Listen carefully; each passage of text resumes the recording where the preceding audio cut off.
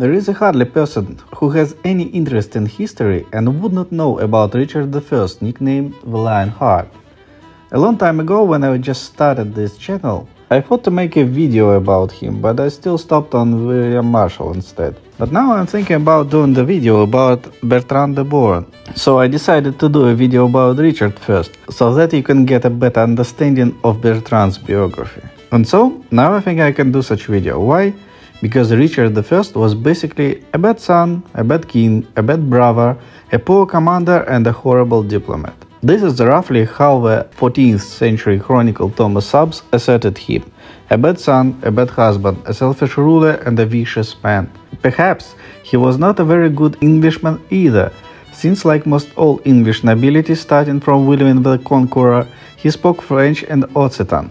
So we can safely call him not Lionheart, but rather Coeur de Lion. But the English love him perhaps even more than any other English king. He is, I would say, on a par with a fictional King Arthur in popularity and fame. A large number of novels, plays and movies has been written about him. So he was much more of a knight than a king. And in this video I hope to show the tr true face of a knight Richard I, the Lionheart.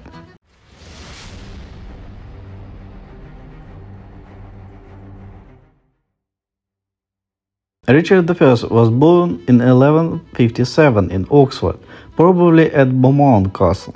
He was the third son out of five of Henry II, under whom England held the maximum amount of land in France, which generally backfired badly on him, leading to much strife among his sons and rebellions among the barons.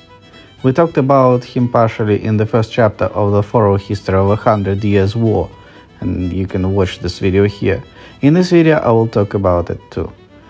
Richard was tall, about 1 meter and 93 centimeters, blue-eyed and, fair-haired, and as well as very strong. Most of all, Richard loved to fight. Since childhood, he showed good political and military abilities, was famous for his bravery, capable of taking the upper hand of over aristocrats on his land. However, he still did not show any great military or strategic talents. Richard attached great importance to church celebration and according to contemporaries, willingly participated in the chants that accompanied the rites, and even led the chores with the help of voice and gesture. However, unlike many of his colleagues of his time, he was well educated, so much so that he even wrote poetry, mostly in French or Occitan. This point of biography is unusually curious to surface later. English, on the other hand, seems barbaric to him. Richard clashed with both his father and his brothers. Thus, initially King Henry II, Richard's father, intended to divide his kingdom among his three sons. Henry, later nicknamed the young king, was to become king of England, and Anjou, Maine and Normandy were to fall under his control. Richard was to receive Aquitaine and the country of Poitou, his mother fiefs. Geoffrey, on the other hand, received Brittany, through the marriage to Constance, the heiress of a province. In January 6, 1169, and in Montmirail, together with his father and brothers Henry and Geoffrey, Richard took the homage to Louis VII, King of France, as heir to Poitou and Aquitaine. On the same day, an agreement was reached for his marriage of Richard and Louis's daughter Adele, or Alice. This union was to seal a treaty of peace between kings of England and France. In 1170, Richard's older brother Henry was crowned as Henry III, but in 1173, Henry rebelled against his own father, Henry II. The irresolvable family contradiction was that Henry II was obsessed with power and was physically unable to share even a little of it, while his children were hungry for autonomy and money. His brothers, Richard and Geoffrey, also joined the rebellion. According to the chronicler Ralph of Coggeshall, it was Henry the Young who wanted to rule independently, at least on part of the lands given to him by his father, was the instigator of the rebellion against Henry II. 16 years old Richard took part in the rebellion only at the urging of his mother, Eleanor of Aquitaine, who had no warm feelings to his father.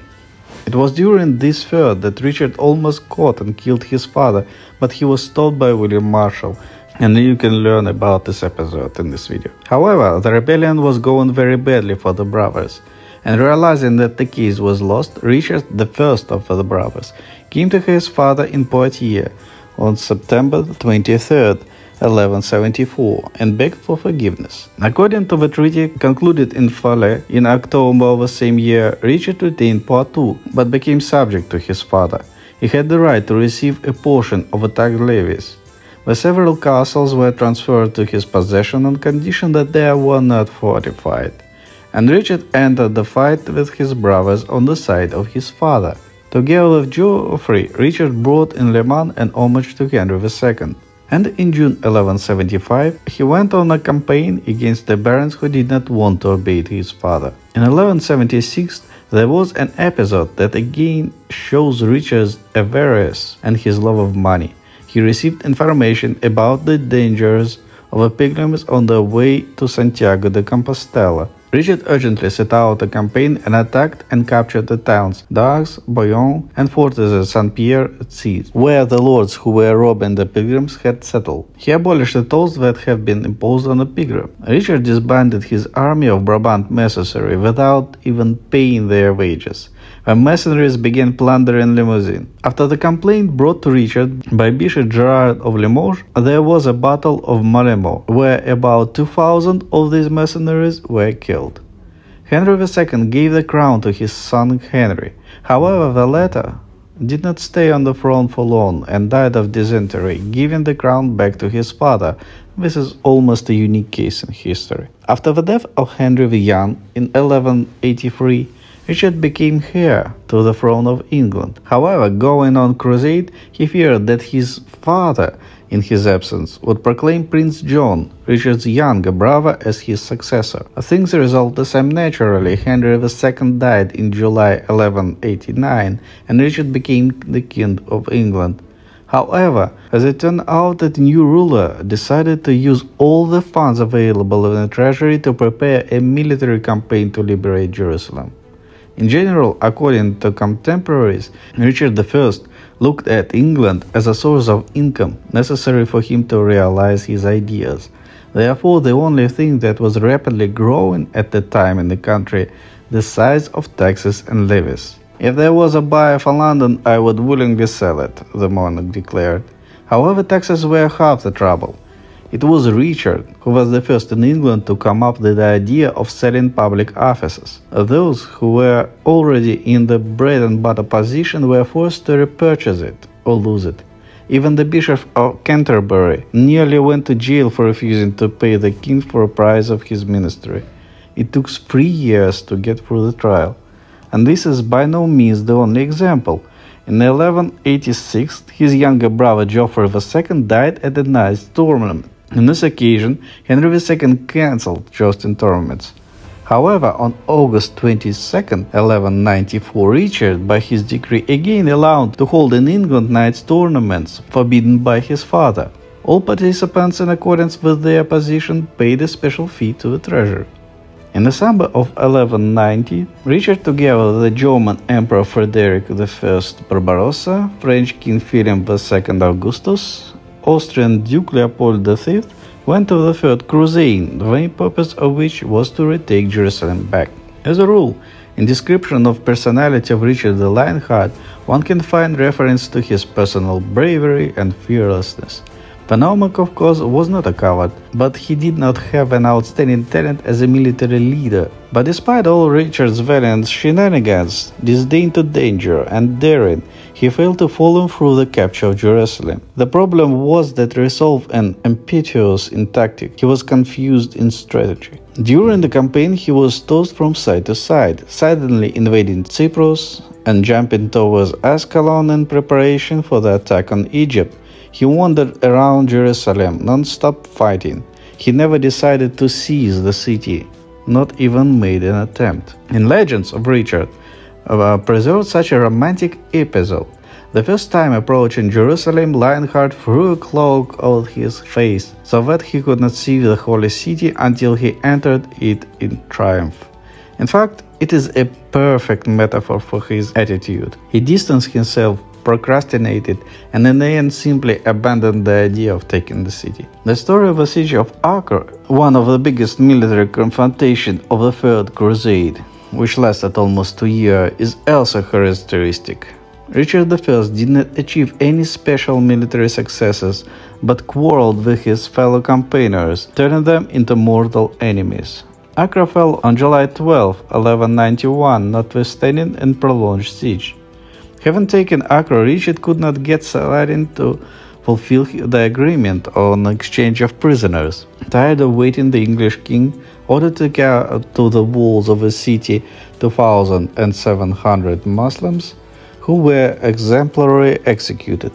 True, the executed were men, women, and children Richard did not touch, but it was after this case he was nicknamed Heart of Stone, then transformed into Lionheart. But the scare tactics did not impress Saladin, and he responded to the mass execution in the same way. As for the strategy of action, Richard constantly missed favorable moments to strike decisive blows.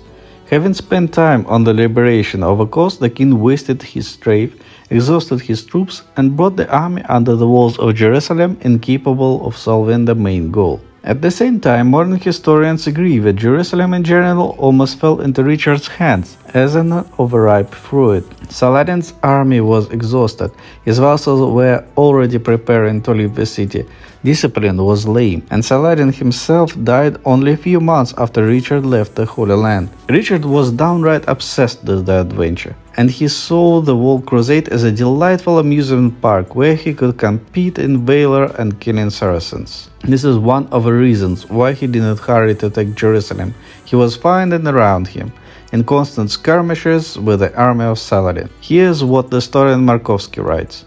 During the rebuilding of Jaffa, Richard enjoyed plenty of adventurous skirmishes in the neighborhood. For example, on one occasion, the king personally set out in search of forage but rode too far away and two small troops with him. Two dozens of Saracens surrounded his warriors. Lionheart fought back violently, but time was running out. One of the knights, assessing the situation, pretended to be the king, attracted the attention of Saracens, apparently sacrificing his life, and thus gave Richard a chance to save himself. Such adventures were a great fuel for ballads but did not contribute to the purpose of a crusade. The king risked himself and jeopardized the whole campaign. Indeed, Richard's followers asked him to stop these military antics, at least until the Holy Sepulchre was liberated.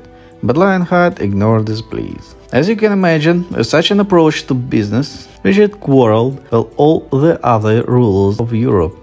Thus he quarreled with the French King Philip II Augustus, who supported Richard's brother Prince John, who had effectively usurped power in England. The English had inflicted a terrible insult on the Austrian Duke Leopold V. At Acre, Leopold was the first to climb the castle wall and raised his flag. Richard felt that his banner had more rights and ordered Leopold's flag to be thrown down from the wall. Now we are far from it, but the warrior who first entered the wall or ramparts was always been a hero in history. Thus, in ancient Rome for this, he was even awarded a special oak as opposed to the well-known laurel wreath. The wounded Austrian returning home gave the orders to all his vessels to capture Richard if he appeared in their land. As a result, Richard had to hastily conclude the peace treaty with Saladin, according to which Jerusalem remained under the Muslim rule, and Christians were allowed only free access for the holy sites for three years. Considering the noise and pomp with which the Third Crusade began, the result was negligible, especially considering the money spent.